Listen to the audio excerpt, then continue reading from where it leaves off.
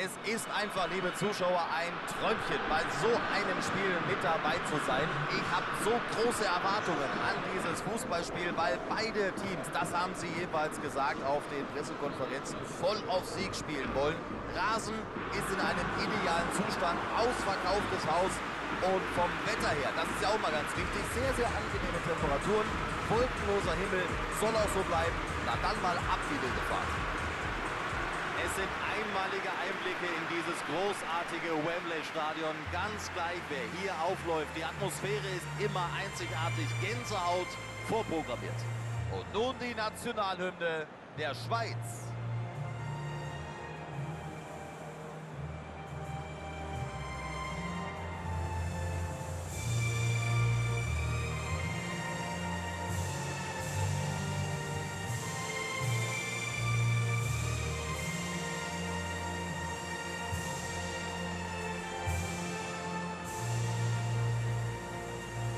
Ist ein Gänsehautmoment.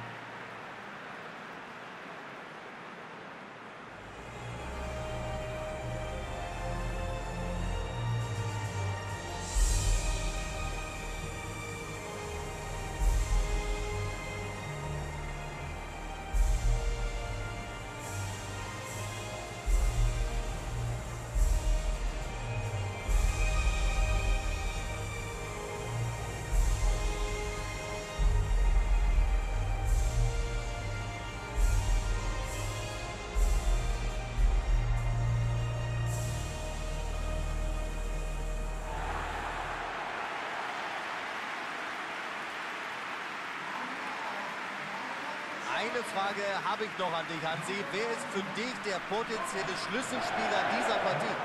Toni Kroos ist das Paradebeispiel für einen modernen Mittelfeldspieler. Er ist Passgeber, er bereitet vor, er schließt selbst. Er ist so etwas wie das Hirn der Mannschaft. Ja, auf den hätte ich auch gesetzt und ich bin mir sicher, die Fans sehen es ähnlich.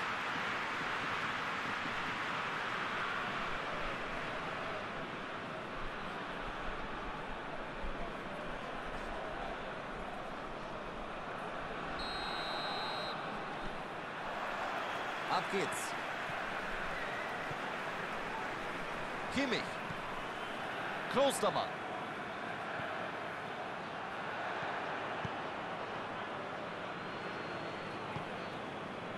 Scher. Ricardo Rodriguez. Shakiri. Shakiri. Gut gespielt und schau an, der Verteidiger kann auch offensiv. Havertz. Toni Kroos. Und die Hereingabe.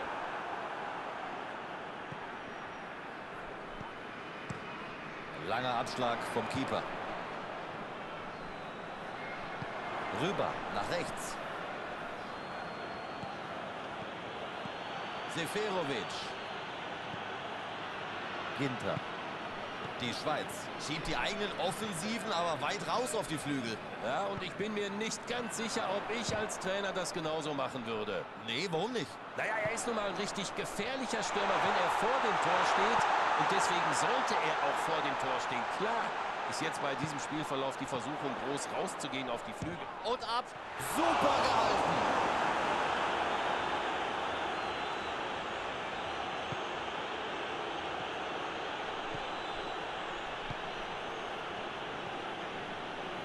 Gerade erst eingeschaltet hat, wird sich freuen. Sie haben bislang nichts verpasst. Lang und weit gespielt. Man könnte durchaus flanken.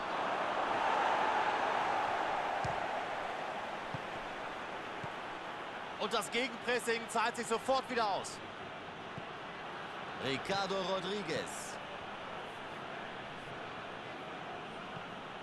Hier ist Seferovic. Sehr guter Ball vors Tor. Kompromisslos weggeschlagen. Er probiert es mal mit dem Heber. Der kommt weit nach vorn. Toni Kroos.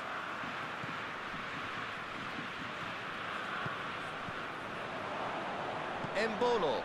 Der Ball geht zum Torhüter. Einfach zu ungenau der Pass. Ginter. Serge Gnabry. Havertz. Embolo. Lichtsteiner. Keines der beiden Teams konnte bisher den Ball im Tor unterbringen.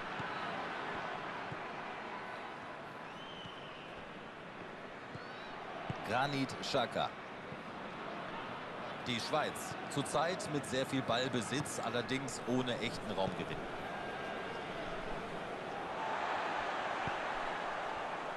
Brandt. Werner. Und die Möglichkeit. Der war ziemlich gut platziert.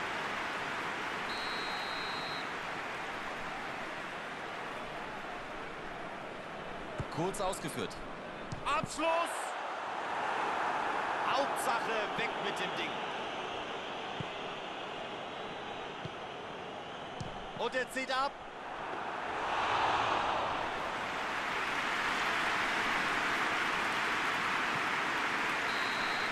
Damit ist die erste Halbzeit schon beendet. Schade, dass sie jetzt in die Kabine müssen. Die hatten einen richtig guten Lauf in den letzten Minuten. Ich bin mir sicher, die hätten gerne weitergespielt. Torlos nach Durchgang Nummer 1. Ich hätte nichts gegen Treffer in Durchgang 2. Und es geht weiter. Also die Leistung stimmte auf beiden Seiten im ersten Durchgang, auch wenn beide nicht getroffen haben. Die Schlüsselfrage im zweiten Durchgang. Wer hält die Konzentration länger aufrecht?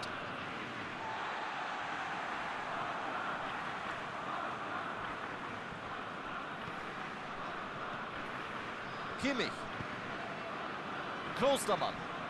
Wunderbar nach vorn gespielt. Klasse geklärt von Rodriguez. Ricardo Rodriguez.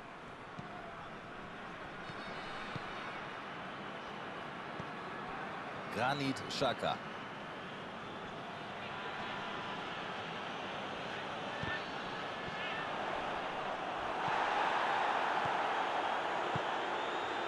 Ricardo Rodriguez.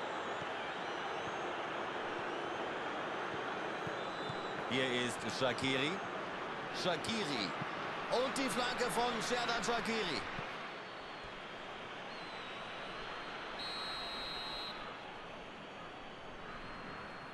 Ricardo Rodriguez mit der kurzen Variante.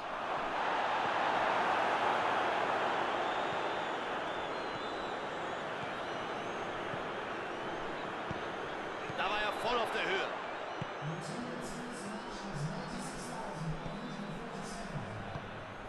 Es ist immer noch nichts passiert, noch immer keine Tore. Lichtsteiner. Embolo haben wir hier. Seferovic. Rüdiger. Holt ihn sich wieder. Und durch die Mitte. Da ist die Chance. Da ist die Möglichkeit. Oh, was für ein wunderbares Tor. Das ist ihre Spielphilosophie. Balleroberung mit hoher Aggressivität und dann innerhalb weniger Sekunden zum Abschluss kommen.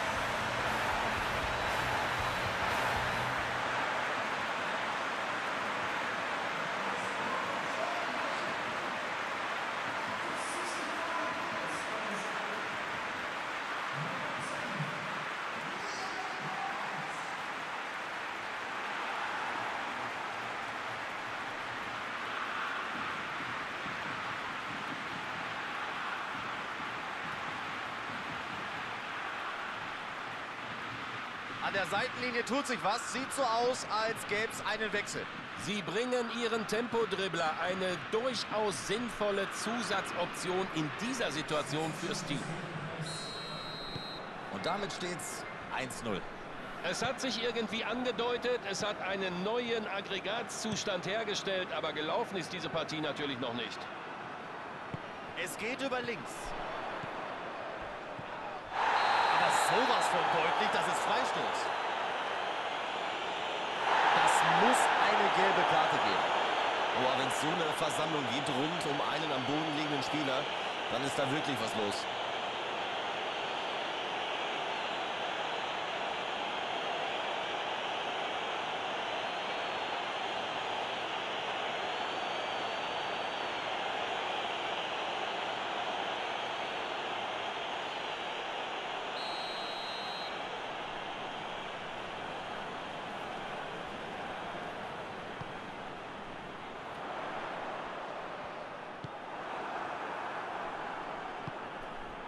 Shakiri. Hier ist bislang nur ein Treffer gefallen, aber das ist eben auch dieser feine Unterschied. 1 zu 0 der Spielstand.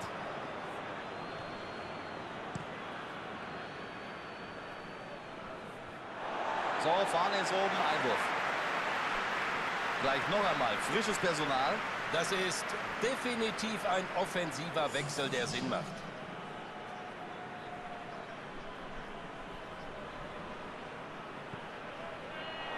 Serge Gnabry.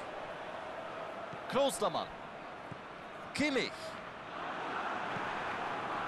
Das ist Chancenwucher und wir sind gespannt, ob sich das am Ende rächen wird. Werner ist das.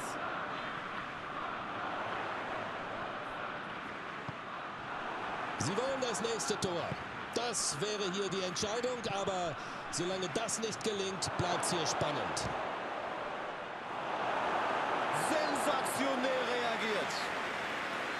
Es hat nicht viel gefehlt zum Ausgleich.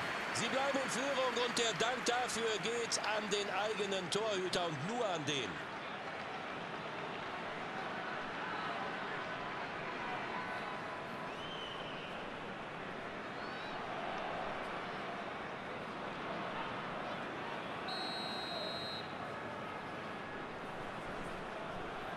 Kurze Ecke. Granit Xhaka. Der Ball fliegt gefährlich in die Mitte.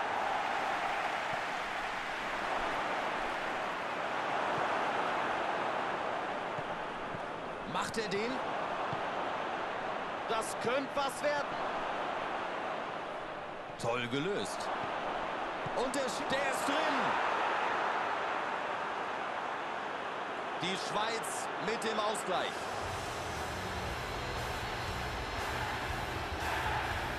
Einfach und erfolgreich.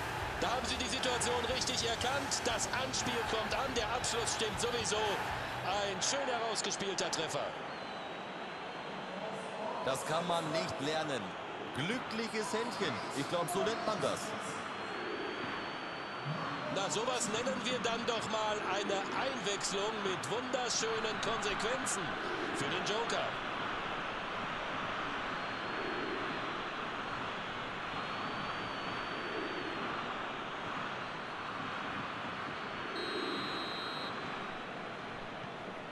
Wir sind auf Remis-Kurs.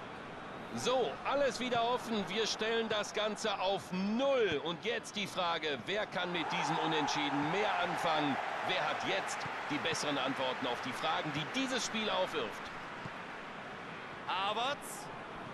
Deutschland muss in den 16er kommen und zwar schnell. Einfach mal rausgehauen.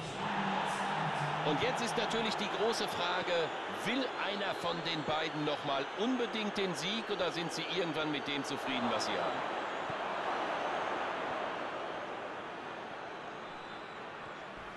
Mit der Brechstange. Freistoß für Deutschland. Das könnte durchaus eine Karte geben.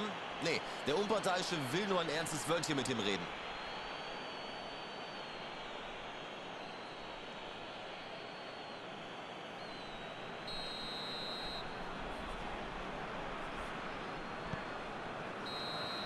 Abpfiff, das Spiel ist beendet.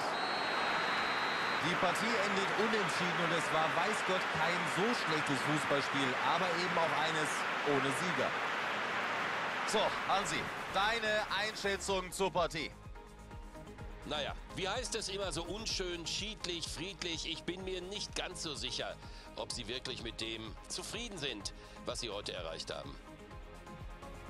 Das war's von uns. Ich bedanke mich bei meinem Kollegen Hansi Küpper. Ich danke dir, Marco.